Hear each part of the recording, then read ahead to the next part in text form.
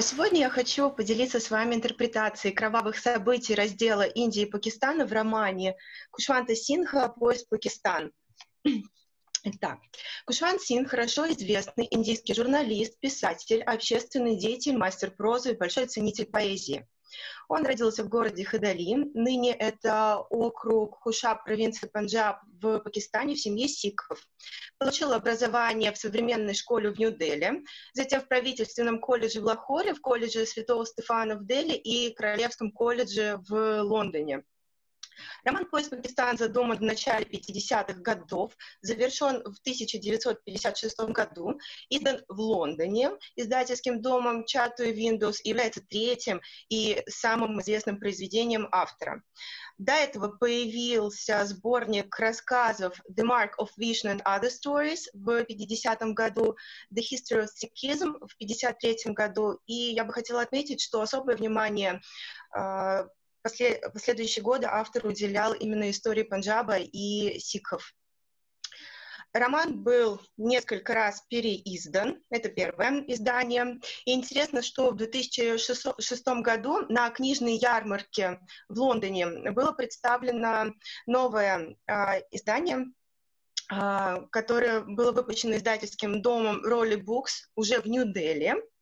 И книга включала в себя также 66 фотографий Маргарет Бурк Уайт, которая запечатлела акты насилия. А, в книге отражены впечатления автора от событий раздела, свидетелем которого он сам стал. Эти события были увидены сиком и джентльменом. Хочу отметить, что долгое время Хушуан Синг жил в Англии. В августе 1947 года Кушван Синг ехал в летний дом своей семьи, расположенный в районе границы с новым государством Пакистаном, и когда встретил джип с вооруженными сикхами, которые хвастались, что вырезали целую деревню мусульман. Это событие побудило Кушванта Синха на написание романа «Поезд в Пакистан» описание зверств мусульман, описанное сикком, спровоцировало бы в Индии погромы. Картина избиения сикхами мусульман заставляла современников событий задуматься о происходящем. Роман посвящен дочери Мали, состоит из четырех глав Дакотика, Юкману Маджра, Карма. Композиция линейная, рассказчик-повествователь передает события третьего лица. Объем произведения небольшой, примерно 190 страниц, написано на английском языке. Также содержит реминесценции на исторические факты периода раздела. Автор рассматривает вечные темы, значимые для человечества во всей эпохе. Предательство, конфликт интересов личного и коллективного, любовь за гранью дозволенного социумом, религиозный экстремизм, варварство, аморальность, альтруизм, гуманность. Вообще тенденции в англоязычной литературе, которые были популярны в Индии в колониальный период, претерпели огромные изменения в период после обретения независимости. Раньше на формирование стиля тематику произведений оказывало большое влияние колониальная и западная философия. Индийские авторы, пишущие на английском языке, не потеряли, однако, регионального колорита. В их стиле остался ритм родного языка и специфика менталитета. Индийская литература прошла не все этапы формирования освоения художественных методов. А роман, как полноценный литературный жанр, закрепился на индийской почве уже в 30-е годы 20 века. В этот период индийская литература пережила переход от э, просветительства к критическому реализму, поэтому первые индийские романы были связаны с реалистичным изображением жизни местного населения. Кушан Сингх был одним из первых индийских романистов, описавшим на английском языке ужас раздела.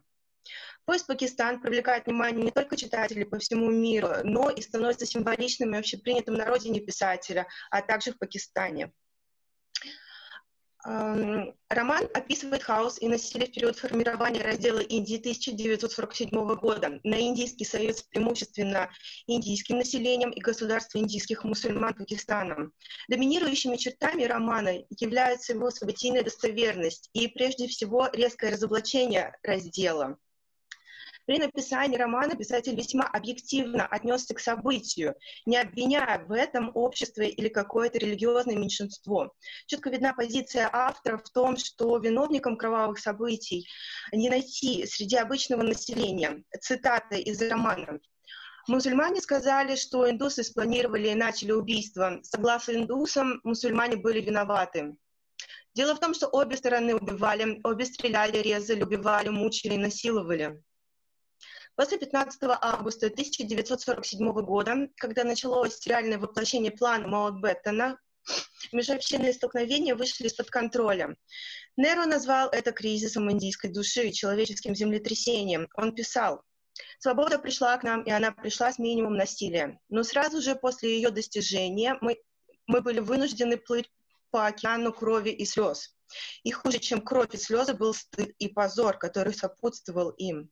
Куда подевались наши ценности, нравственные нормы? Куда подевалась наша древняя культура, наш гуманизм и духовность, и все то, что Индия защищала в прошлом? Страх и ненависть ослепили наш ум. И все ограничения цивилизации были выброшены прочь. Но мы еще сильнее горевали по Индии, нашей общей матери, ради свободы которой мы трудились долгие годы. Кушван Сингх анализирует раздел с точки зрения жителей маленькой деревни, которая в конечном итоге будет поделена между двумя государствами. Место действия романа — это Ману Маджра, вымышленная деревня, расположенная в Индии, но вблизи границы с Пакистаном где население в основном сикско-мусульманское, хотя одна индуистская семья также населяет деревню. В деревне есть э, железнодорожная станция. Поезда, проходящие мимо, определяют ритм жизни. Сейчас для экономии времени я выведу на экран персонажей. Ознакомьтесь, пожалуйста, чтобы мне их не зачитывать и не тратить ваше время. В начале романа деревня живет почти в полной информационной изоляции по установленным э, каждой религиозной общиной канонам. Цитата. «К тому времени, когда разразился мусон, почти миллион из них были мертвы, и вся Северная Индия была в ужасе, в подполье или с оружием в руках. Единственными оставшимися оазисами мира были затеряны далеко от границы небольшие деревни. Ману Маджра была одной из этих деревень. Я уверен, что никто в Ману Матри даже не знает, а, что англичане ушли, и страна делится на Пакистан и Индостан. Некоторые из них знают о Ганди, но я сомневаюсь, что кто-нибудь когда-то слышал о Джине, говорит приехавший в деревню инспектор. В романе мы видим, что изначально общая атмосфера была мирной, и деревенские жители не думали о присутствии людей, принадлежащих к разным религиям. Ману Маджра становится незатронутой, как говорит заместитель инспектора полиции, цитата. Никаких коммунальных проблем в этом районе. Мы избежали этого, сэр. Даже после того, как междуусобная, а, межобщинная напряженность охватила большинство регионов, Ману Маджри удается поддерживать мир и терпимость, несмотря на религиозную неоднородность деревни. Поводом для серьезных конфликтов не было, территориальных и этнических разногласий не возникало лету 1947 года, когда было официально объявлено о создании нового государства Пакистан, 10 миллионов человек, мусульмане, а также индусы и сики, уже убивали друг друга. В Панджабе главную проблему представил крупнейший город Лахор, в котором проживало 600 тысяч мусульман и 500 тысяч индусов и сиков. Вплоть до Дня независимости индусы и сики считали, что Лахор отойдет и к Индии. Мусульмане, однако, полагали, что вся Лахорская область будет передана Пакистану. И хотя вплоть до 15 августа это решение считалось секретным, в Панджабе начались религиозные общинные столкновения. Надежда на мирный переход населения принадлежащего к меньшинствам в районе, населенные их большинством, оказались несостоятельными. Конце июня вице-король и Совет по разделу страны создали пограничные силы из 55 тысяч человек с участием британских офицеров под, офицеров под командованием генерала Риса для обеспечения порядка при переходе населения из одного района в другой. Но и этих сил оказалось недостаточно, чтобы предотвратить жестокие столкновения между общинами, которые происходили в каждой деревне и в каждом городе. В июне 1947 года а, в северо-западной пограничной провинции был проведен референдум. Большинство установивших в нем, а, участвующих в нем проголосовало а, за Пакистан. Масштабных межнациональных конфликтов постепенно развор... начинают разворачиваться в романе с незначительного конфликта. Дом индийской семьи разграблен, а ее глава Лала Рамлал убит местной бандитской группой во главе с Мали. В деревне, однако, живет другой бандит, Джагат Сингх, по прозвищу Джуган. Он находится в конфликтных отношениях с Мали. И в момент совершения преступления а, Джуга занимался любовью с дочкой деревенского ткача Нуран. В этот день из Дели приезжает Игбал. Он представляется социальным работником и не говорит своей фамилии. То есть мы не можем определить, э, к какой, э, какой религии он относится. Бандиты во главе с Мали э, сваливают убийство на Джугу и подкидывают браслет из разграбленного дома во двор к матери Джуги. Мать находит эти браслеты раньше Джуги и пытается использовать их, чтобы доказать невиновность сына в убийстве, но безрезультатно. Позже в романе, когда другая героиня Сундари изнасилована мусульманской толпой через четыре дня после свадьбы, она носит красные браслеты из лака. Ее подруга сказала, что снятие браслетов принесет несчастье, что мужу повезет, если он сломает их во время первой брачной ночи. Те браслеты все же ломаются, когда толпа насилует девушку. И Кушван Синх иронично указывает, что разбитые браслеты должны были принести ей удачу, а в конце концов принесли лишь горе. А, и скорее здесь сломанные браслеты символизируют насилие, совершаемое во время раздела Индии, так как э, жертвами в первую очередь э, становились э, слабые и незащищенные, в первую очередь женщины. Итак, Джугани, Джугу не раз ловили на разбой местные жители. К тому же он не может признаться, где именно был во время преступления. Вместе с ним, по подозрению в убийстве, в тюрьму попадает Кбал хотя его задерживают за странные телеграммы, шифрованные телеграммы в Дели. В этой части романа автор указывает на коррумпированных правительственных чиновников и полицейских, которые являются главными злодеями. Игбал первым упоминает коррумпированную полицию, когда обсуждает с Синхом, хранителем э, Гурдвара, полицейскую систему, которая вместо защиты гражданина жестоко обращается с ним и живет коррупцией и взяточничеством. Но обстановка быстро меняется. Когда поезд из Пакистана полный убитых сикхов прибывает в Манумаджу, в истории схожие события, произошедшие через несколько дней после обретения независимости. 17 августа Неру вылетел в Панджаб для встречи с премьер-министром Пакистана Лякат Алиханом. Они вместе обратились к народу с призывом к миру. Однако это не, по не помогло, и столкновения продолжились с еще большей жестокостью. Так, 23 августа польскими мигрантами был атакован мусульманами. И еще одно событие упомянуто в мемуарах лорда Маутбеттона.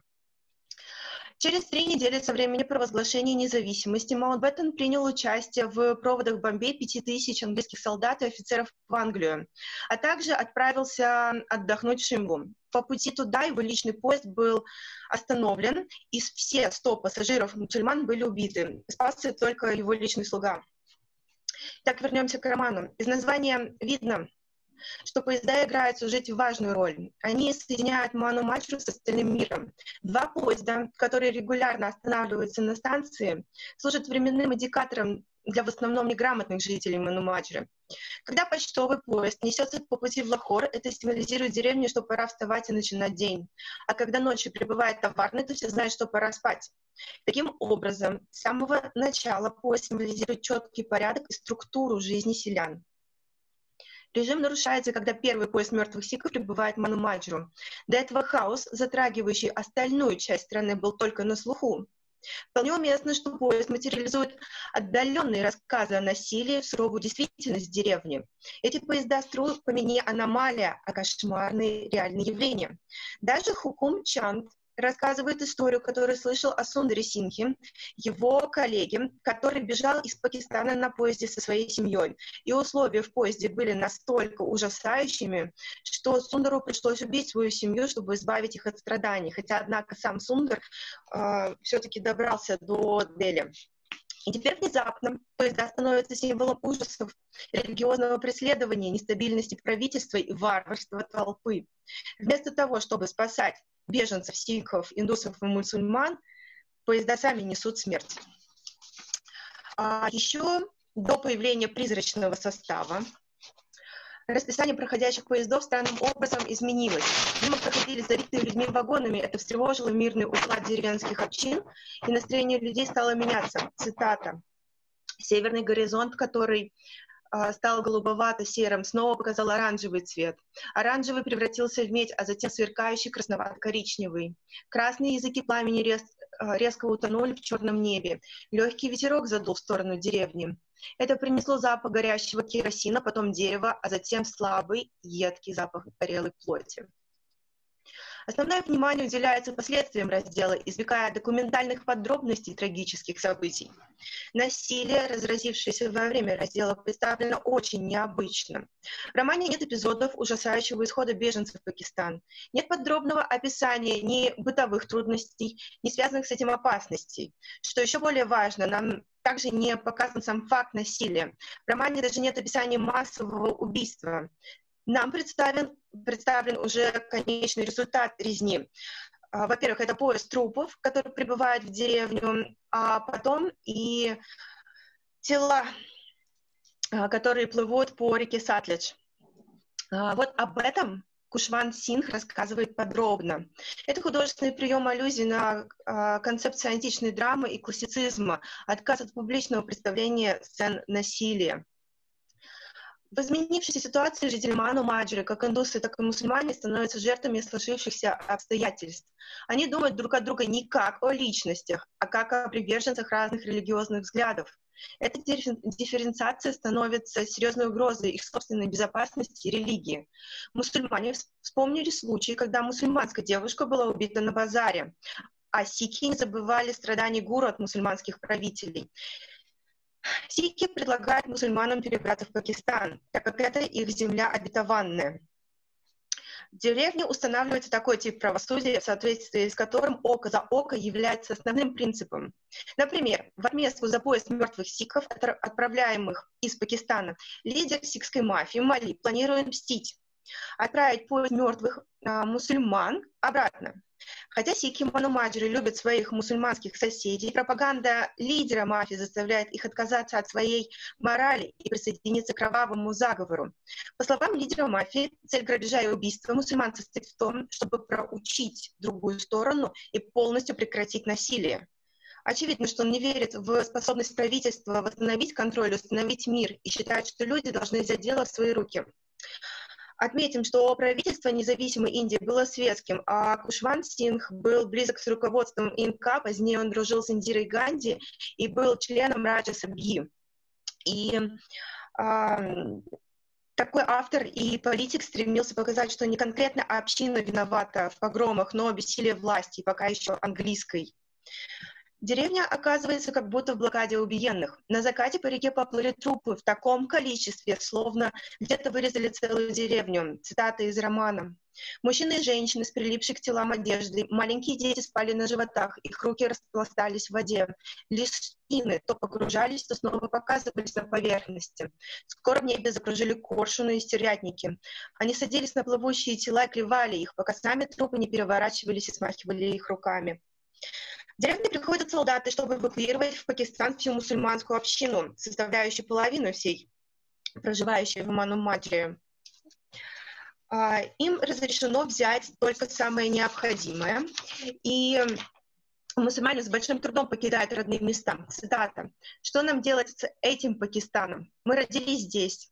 Здесь жили наши предки, мы жили среди вас как братья», говорит мусульманский имам. Мародеры грабят брошенные мусульманами имущество. Мали со своей бандой подстрекает людей совершать налет на поезд мусульманскими, с мусульманами и расстрелять их через окна. О том, что поезд — это поезд смертников, и что никто, зашедший на него, не достигнет пункта назначения, догадывается судья. Он умывает руки, но все-таки принимает решение об освобождении Гбалы и Джуги, чтобы хоть каким-то образом остановить беспорядки, бушующие в деревне, и предотвратить катастрофу. Кушван Синг обрисовывает характер э, джуги, но в отличие от деревенских жителей, так, чтобы подчеркнуть важность любви в деле спасения жизней. А, его отношения с Нуран, мусульманкой, намекают на тщетность разногласий и вражды на религиозной основе. Любовь разбойника к ней заставляет его идти против своих людей, которые пытались убить невиновных. Именно его любовь заставляет жертвовать своей жизнью ради людей, которые считают его преступником и бандитом.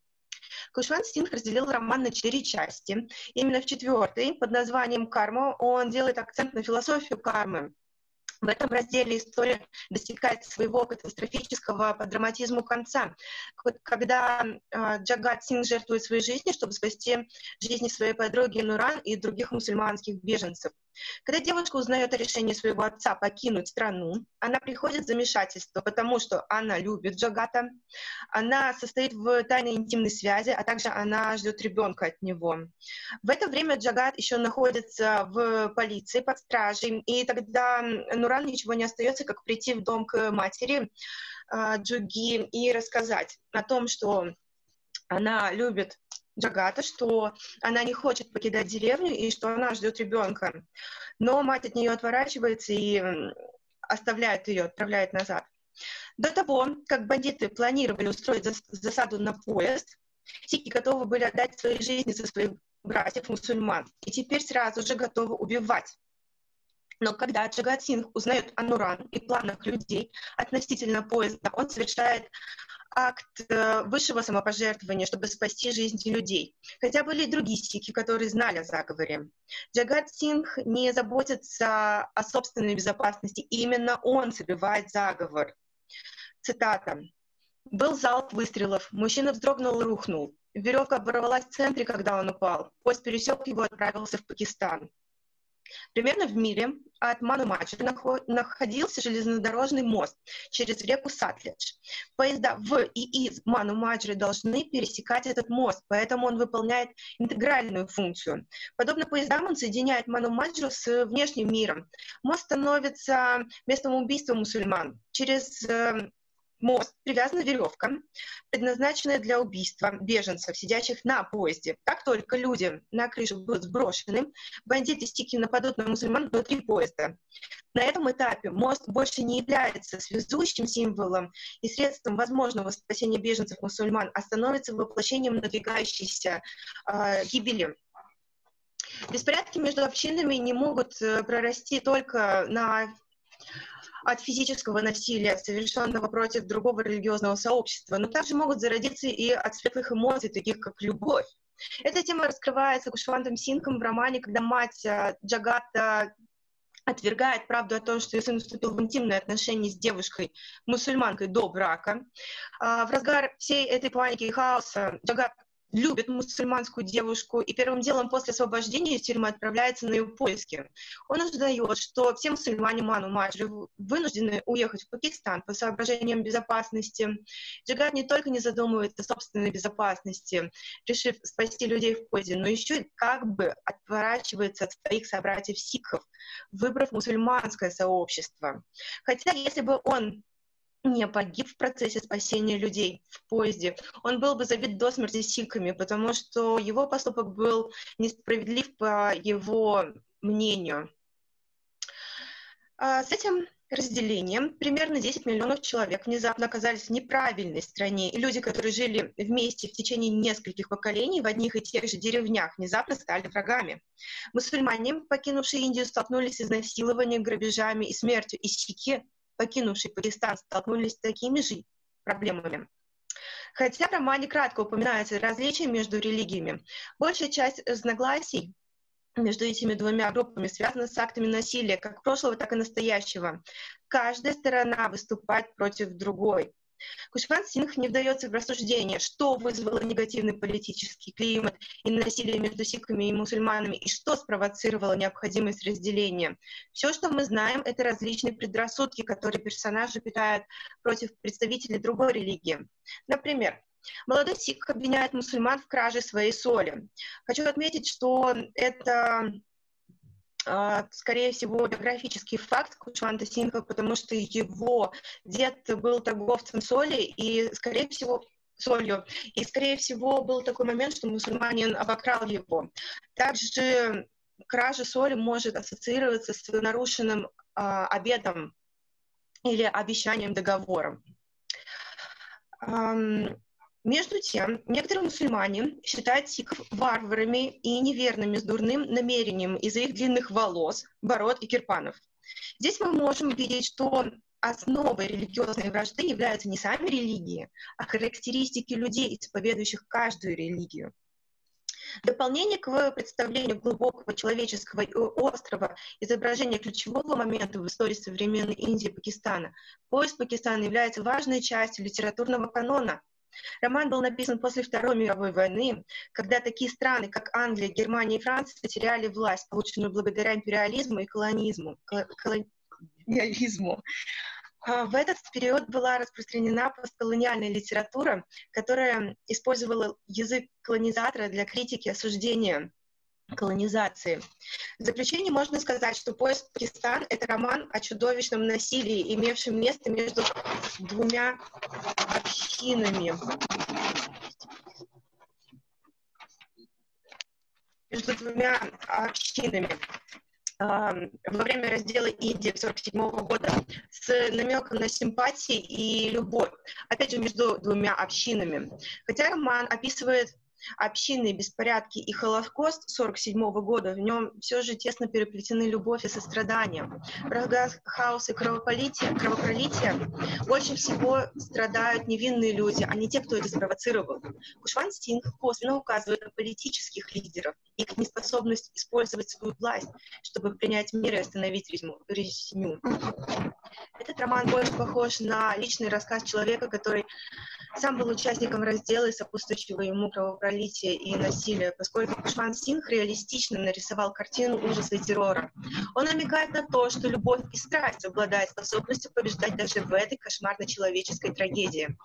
Поезда уже не остановить, а действительность разрывает на части. 24 апреля 1947 года министр внутренних дел Временного правительства Индии Патель заявил Мокбеттону, цитата, «С тех пор, как вы приехали в страну, обстановка значительно ухудшилась. Идет гражданская война, а вы не предпринимаете никаких усилий, чтобы остановить ее. Вы не управляете страной сами, не даете возможности Временному правительству управлять. Вам не удастся избежать ответственности за эти кровопролития. Роман «Поиск Пакистан» стал популярен примерно в одно время с такими произведениями, как «Распад», «Чунуа Черепи», «Черная кожа», «Белые маски» Франца Фанона и «В ожидании Махатмы» Разипурам Нарайна. По своему историческому художественному содержанию, а также глубоко личному осмыслению, роман Кашванта Синха делает его похожим на другие произведения а, колониальной литературы культуры. Однако сатирический юмор э, Кушванда Синха перед лицом насилия и трагедии помогает отличить его работу от других романов постколониального канона. Примечательно, книга была адаптирована к одноименному фильму, который впервые был показан в 1998 году. Фильм завоевал признание критиков. Он также демонстрировался в Соединенных Штатах, Шри-Ланке, Великобритании и представлен на нескольких международных фестивалях. Есть очень, очень похожий по структуре каких-то канадских Пол. Поднимаются те же темы. Роман был адаптирован Кришной Шуклой под пьесу. Спектакль поставлен театральной группой АМИ трижды. Последний раз 26 августа 2014 года. Хотя поезд Пакистан не получил никаких призов и премий, Кушванту Синху было присвоено множество наград и почетных званий. Некоторые за его службу в Индии, а некоторые за его литературный вклад. Литературные награды включают премию Панджаба Ратанга, товарищество Сахити Академии и Падма Бушан. А последнюю он вернул в связи с событиями 1984 года, когда Сикская святыня Золотой храм был осквернен в ходе операции «Голубая звезда». Сегодня поезд Пакистана остается одним из ярчайших примеров раскрытия темы разрушительной силы религии, обличения коррупции, национализма. Роман входит в обязательную университетскую программу по литературе. Спасибо за ваше внимание. Я с радостью отвечу на вопросы. Э, у меня два вопроса. Я не понимаю одну вещь, я сразу говорю, я не литература, это не сильно в литературе. Вы говорите о том, что в начале доклада, о том, что в 1930-х годов роман, я так поняла, как жанр утвердился в индийской литературе, правильно? Но, а как же быть э, с романами более ранними? То есть я знаю как минимум одного писателя, который был уже известен во второй половине XIX века, это Бхагинчандра Чаттападхай. Э, Еще раз можете повторить, не услышала. Бенгальский бенгальский mm-hmm. романист Бон Ким Чондра Чоттападхай. Да, такого это... читала, да. Но он был. Был, я не спорю, да, ни в коем да. случае. Э, это, в общем-то, потом романы Рабиндраза Тагора есть более ранние. С чем связана вот эта датировка? э, с 30-х годов, я не понимаю. Стал более популярным или что? Или те романы, они правильные? Он уже скорее получил э, свою форму как таковую. Те ранние, они не оформившиеся, эти оформленные. Нет, я не говорила об этом. А еще такой вопрос, вот э, вы вскользь упомянули, просто такая фраза проскользнула, Холокост 1947 года. То есть знаете, резню индуса э, мусульманскую вы назвали Холокостом. Это вы взяли у какого-то исследователя, я это не встречала, или вы сами придумали называть это Холокостом? Они сами так называют. А, я прослушала интервью самого автора, и вот могу даже на него ссылаться, что он сам называет эту трагедию, тоже называет ее Холокостом. Этот писатель? Да, Кушван Синх. А можно а, заметку одну буквально сделать? Давайте. Э, прям такой доклад в руку. Я как раз, э, э, когда из Индии убегал, прихватил книжку Э, того же автора, Фанта Потрясающе! Э, и как раз читал на обратном пути. Ну, понятно, что кое-что перечитывал, потому что довольно известные произведения. Mm-hmm. Я думаю, что вопрос терминологии, там, Холокост, да, и, и, и другие слова. Ведь Пушван Синг, э, насколько мне известно, провел довольно много времени в США, и он заразился некоторыми такими даже не концепциями, а просто определениями, которые в ходу в американской... В американской... Он в Англии очень долгое время жил. Очень а, долгое время да. был в Англии. И я хотела бы заметить, что Кушван Синг, он достаточно эксцентричный у нас был э, человек. И а, если... Пос...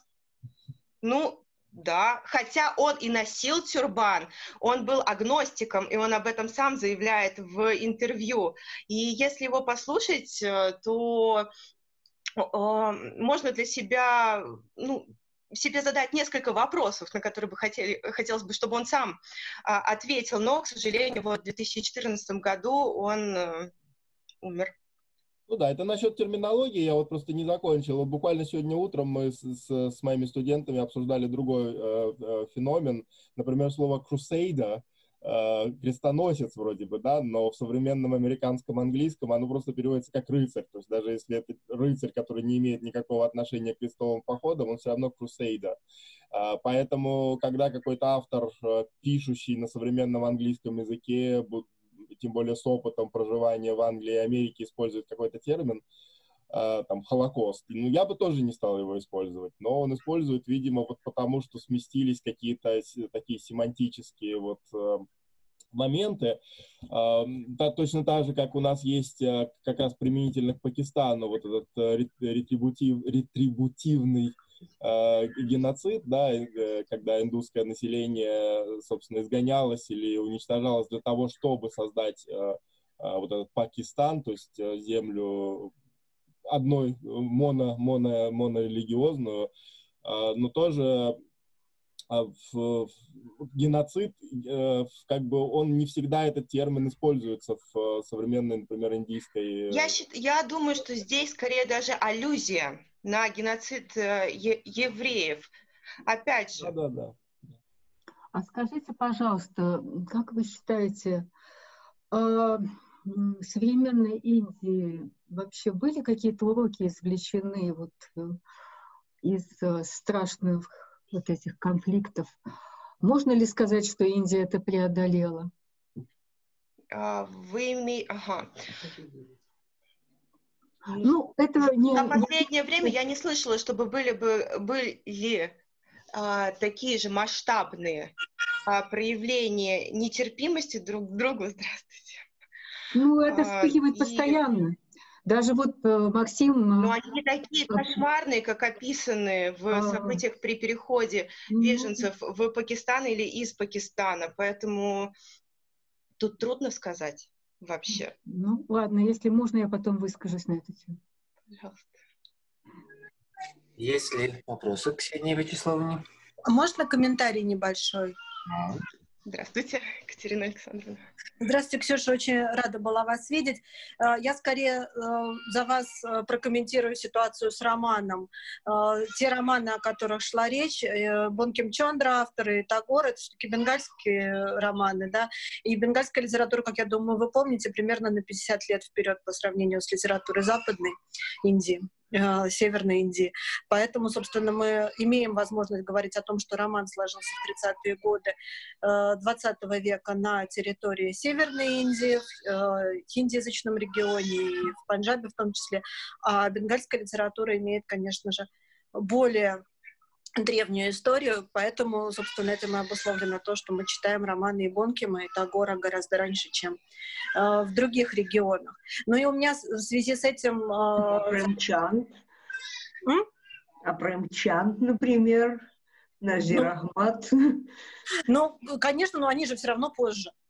А нет, они раньше э, раньше, чем э, Бонкем. Чем 30-е, чем 30 годы. Ну, э, к 30-м годам я бы сказала, что он уже окончательно оформился этот жанр. Ну, вот, э, во всяком случае, то, что Бонким — это Гор, это Бенгалия, и это совсем другая история.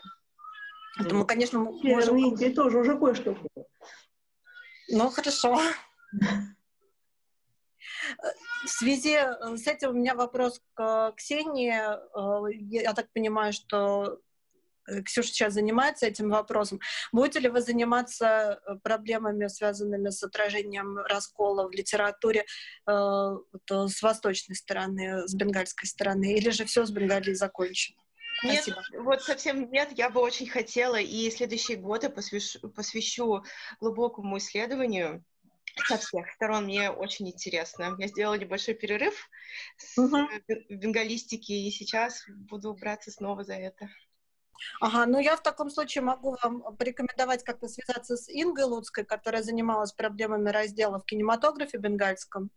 И я думаю, что сможет поделиться с вами интересной информацией на эту тему. Спасибо большое. Всегда mm-hmm. рада вашему совету. Шива Сантуша,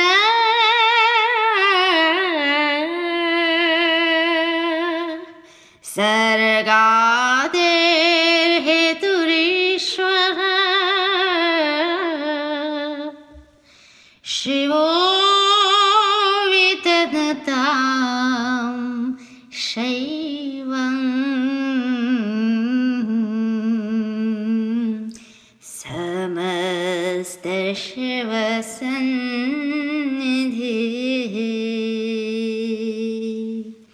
शिवा सन्तोष सन्तुष्ट